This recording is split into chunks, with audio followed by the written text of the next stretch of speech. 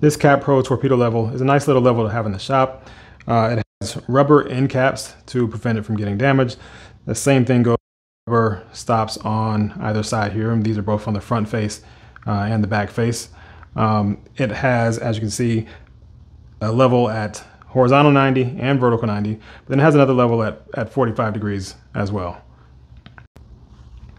And the best thing about it is that it's magnetic, so when you're not using it, it stores away super easily, like that.